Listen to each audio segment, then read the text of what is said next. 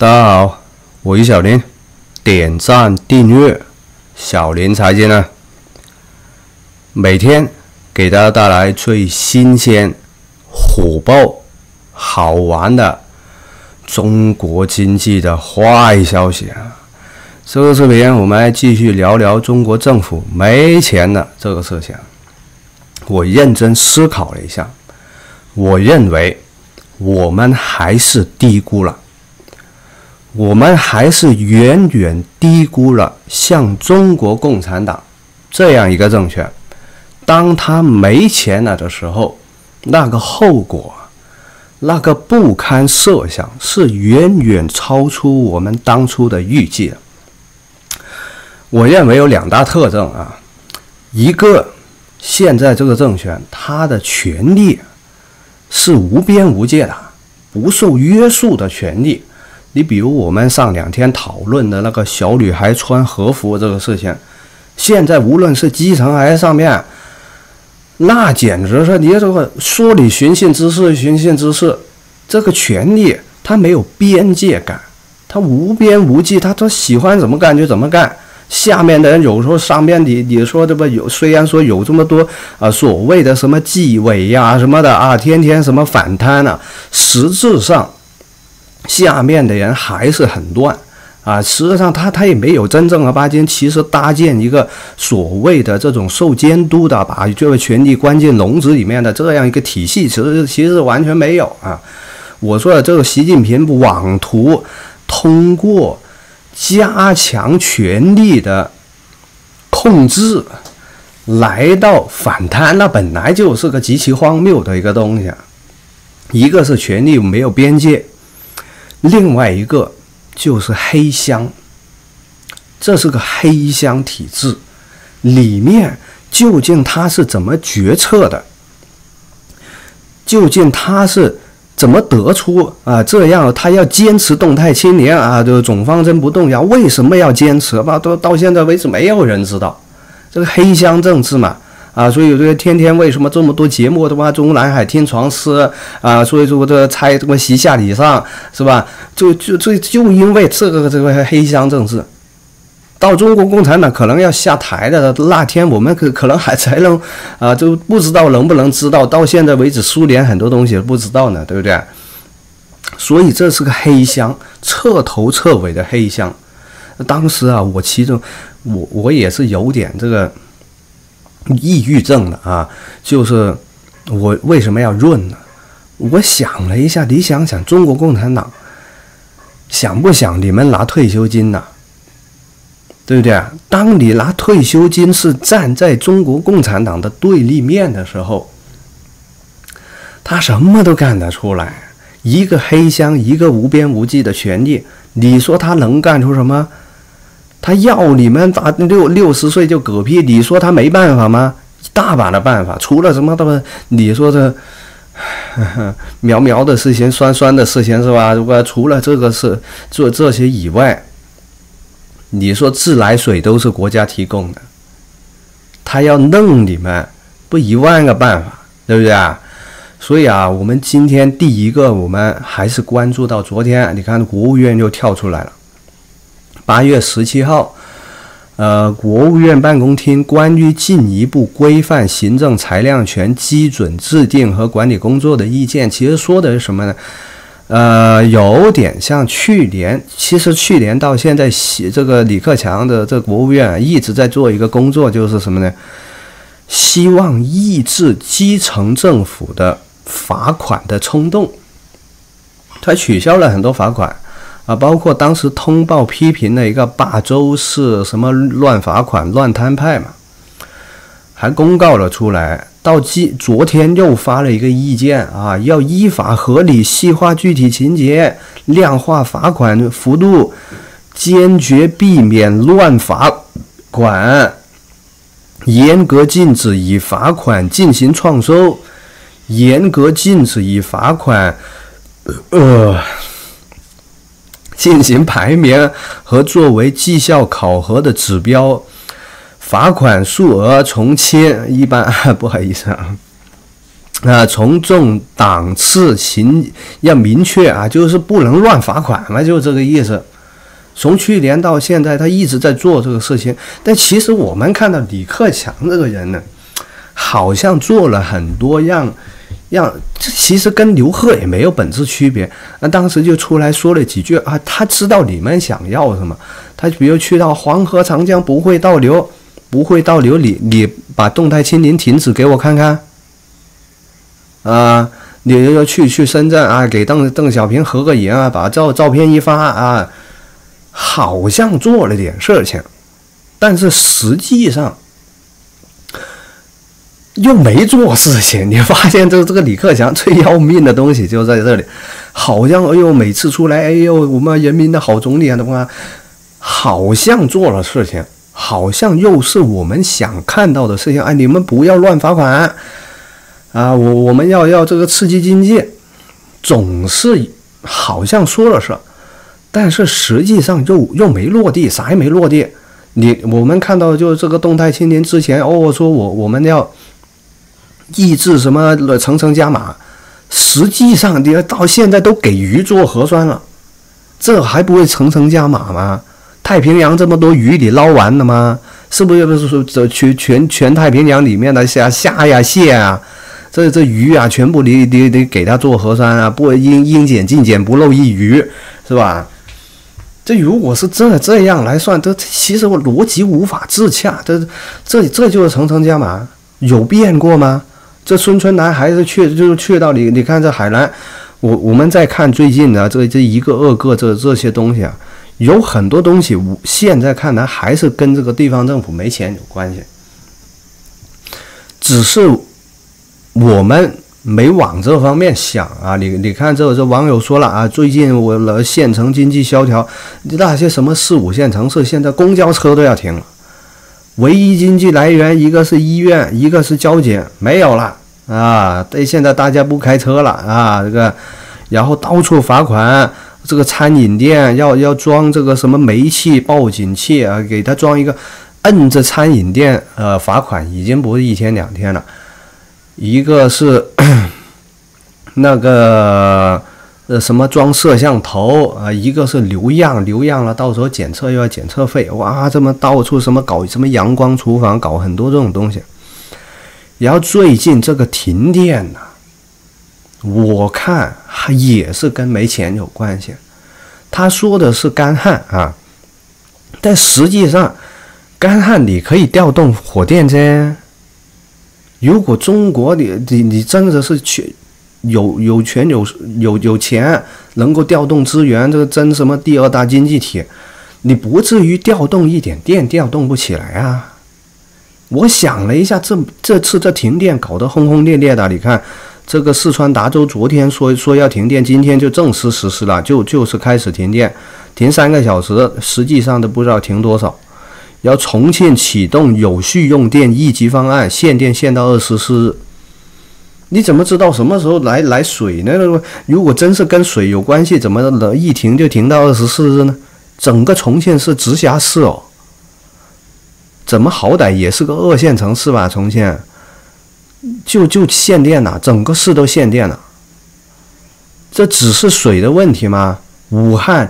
遍布的区域，而且你看武汉也也没也没电，这个这个商场全全部停空调，空调全部关闭，趁机就停，有没有这这种？就因为中国这这些什么官员、地方政府，很多时候就是趁机趁乱，就就是达到他某些不可告人的目标。啊，比如赚，比如他他想赚钱啊省钱，你说是不是？就就是趁这个机会就给你们全停，我看有可能，有可能，啊，就趁机就停电，而且或者说他确实有有这个干旱的问题，但是他趁机呢就他也不花太多的资源给你调动，这也是政府其实他已经没有能力的一种标志，对不对？所以这个停电啊。还有看到的是南京地铁不允许外放声音，就是那个那个民警还还不知道是什么玩意儿，直接拿这个直接打单，直接给你开罚单。这都都这这还不属于乱罚款？我在地铁里面，这这这属于，哎，叫做什么公序良俗吧？这这属于可以罚款的东西吗？地铁里面外放声音，这手机怎么有时候铃声响了，我去，是吧？那那这样就就可以直接就就就罚款啊？啊，这直接就就直接开个罚单，那就太可怕了。还有，我我认为啊，最最近这个三亚市、三亚市啊，还有什么北海呀，这些旅游区，你说是不是也有点关系？就是最近刚好就是旅游旺季嘛，暑假，然后很多人去旅游，一去到，就来疫情，就来疫情。来一波疫情，然后把这些游客全扣下来，因为你你这个隔离期间很多时候是政府收费啊，产生了大量的政府收费项目。如果是正常旅游，他他也罚不了这么多钱。啊。旅游他他搞搞点酒店，比如这个酒店他他要，呃装一些什么什么消防设备啊，这这些也可以营销嘛，也也可以赚钱。那除了这个以外，会不会有一种可能性，就把你们扣下来，啊，就就就说有疫情，这一轮疫情，因为我说了黑箱嘛，就黑箱嘛，你你怎么知道呢？一个权力无边无际，一个黑箱，你说作为地方政府，他没钱了，哎，趁这个旅游旺季，你们来旅游是吧？就搞一波疫情，你们这不就几万、几十万、十几万游客嘛，全扣下来了吗？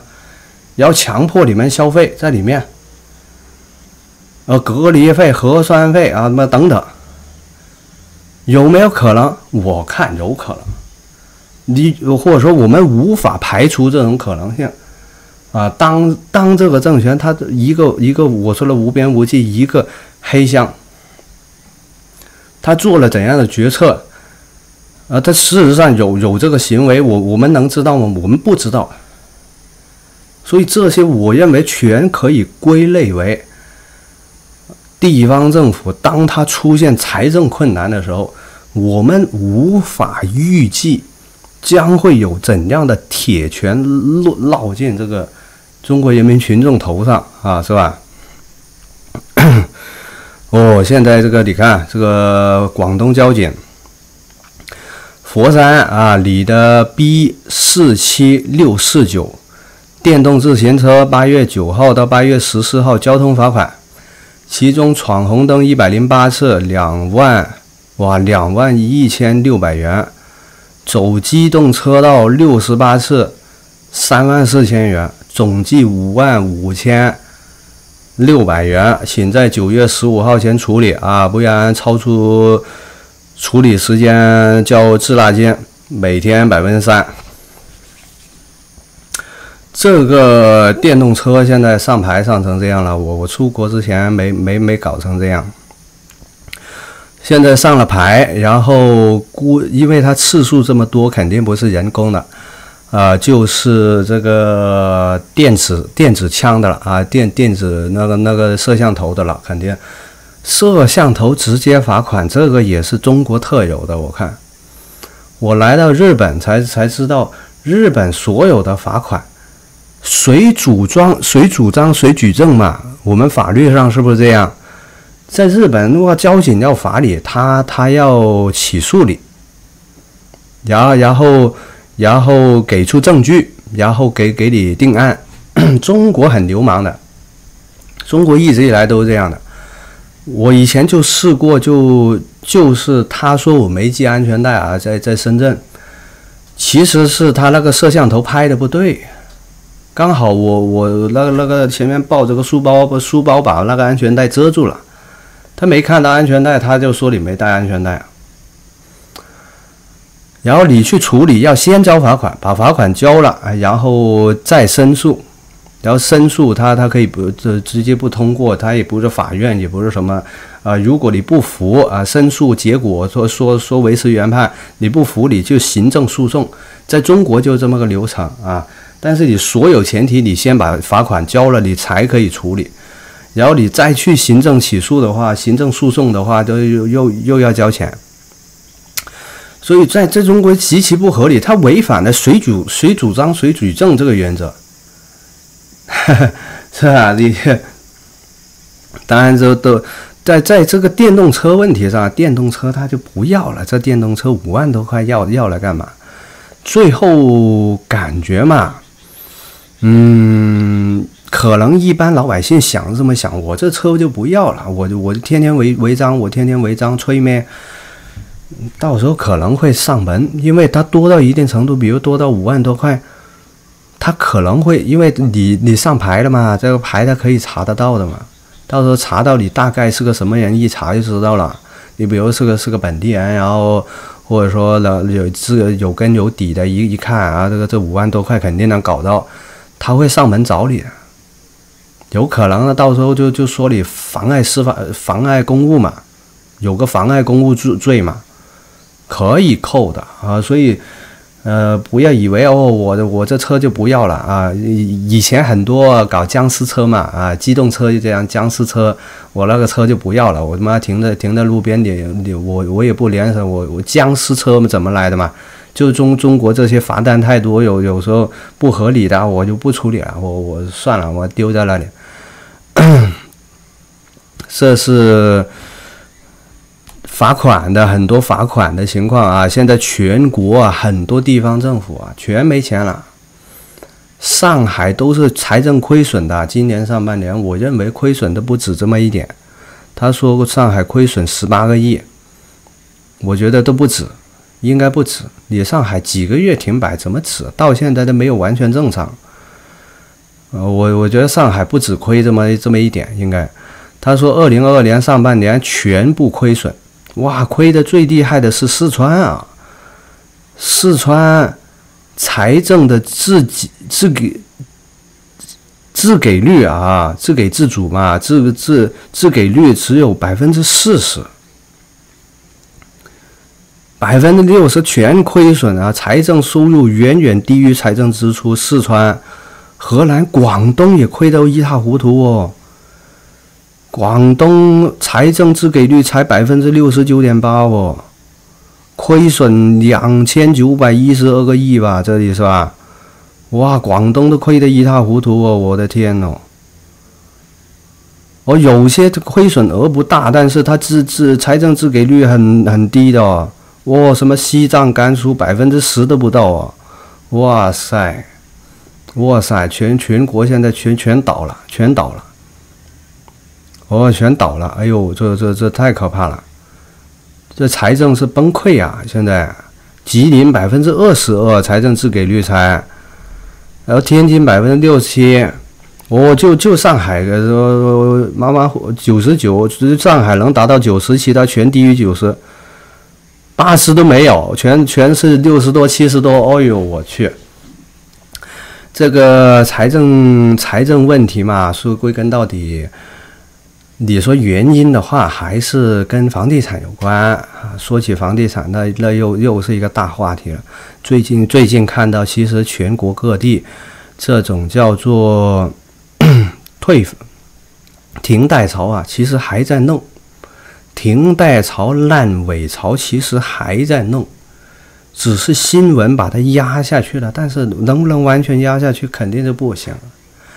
看到什么北京通州区啊、豫州朗庭湾业主退房声明，其实也是停贷。他现在不说停贷，他说退房，实际上就没没做完嘛，房子没做完嘛。然后是还还有很多，广州，你看广州都都。都烂尾了，一线城市了。广州金科、集美、裕丰停工半年，五百多名业主前来维权。然后是有一个叫中铁中南啊，中南地产只收房款不盖房哦。这这个在大马路上堵路了啊！这这个这个这个也跟跟得上那个。这个黑豹啊，香港黑豹 连接的黑豹了，堵路了啊！现在堵路违法成本很高啊，违反治安管理处罚条例啊，你们注意啊，以后影响什么什么孩子入学啊，一来又是这一套，啊，又一又一来又是这么一套啊，就是就是，但现在这些业主他急呀，你看在全国各地确确实实就发还是发生很多这种，啊，业主堵路啊，这这房地产就是全崩了。啊，房地产的话具体有很多数据，我我们在在在开视频再说。呃，现在核心很大一块还是房地产，还有一个就是清零嘛，动态清零。那地地方政府一没钱，他什么都干得出来啊。所以我认为还是呃不能低估啊这个影响。里面搞得你看有可能停电，或者说地方政府，你说这这些。去旅游，突然间给你全扣下来，你有没有可能？有可能。哎呀，所以真的是大家自己看着办，有条件赶紧润了啊！要先说到这里，觉得有点意思，点赞、订阅、分享，拜拜。